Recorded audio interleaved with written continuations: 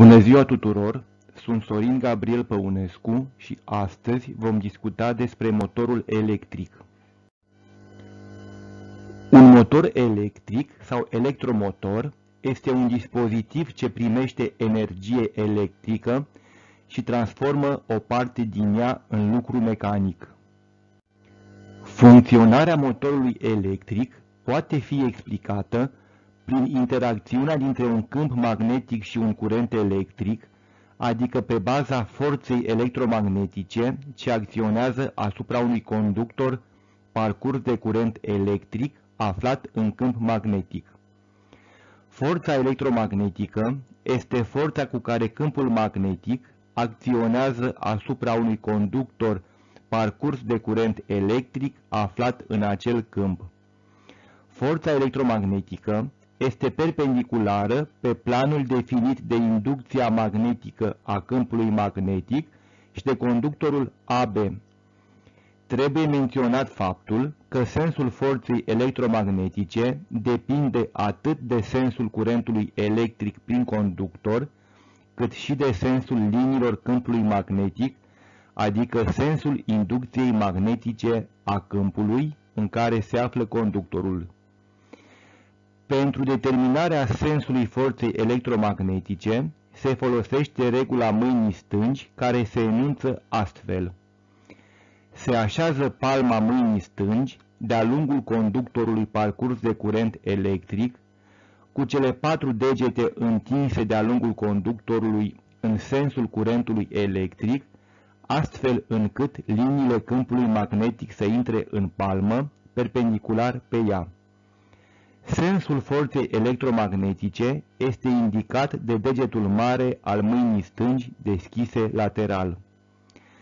În cazul unui conductor perpendicular pe liniile unui câmp magnetic uniform, modulul forței electromagnetice este egal cu produsul dintre modulul inducției magnetice a câmpului, intensitatea curentului electric prin conductor și lungimea conductorului.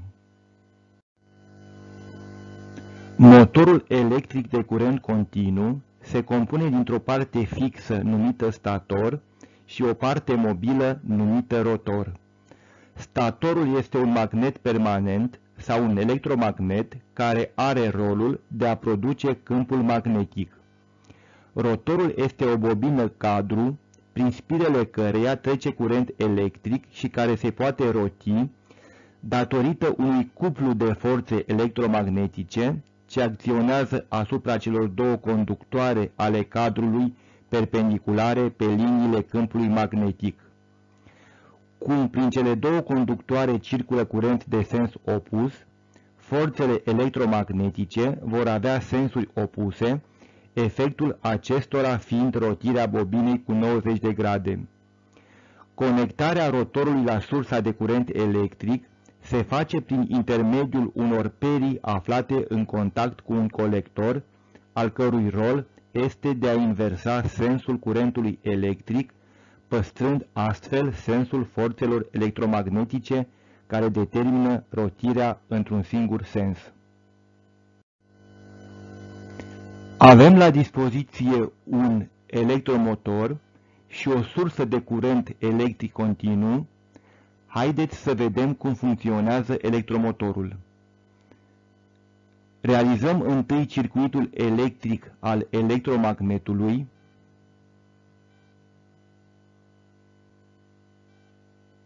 apoi circuitul electric al bobinei.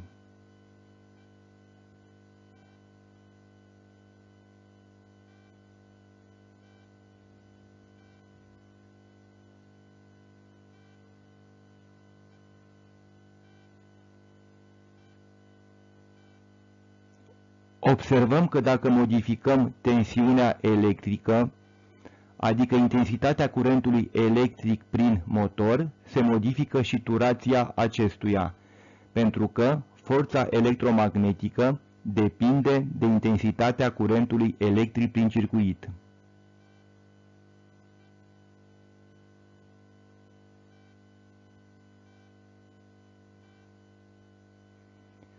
Modificăm sensul curentului electric prin bobină, și observăm că se schimbă și sensul de funcționare al motorului.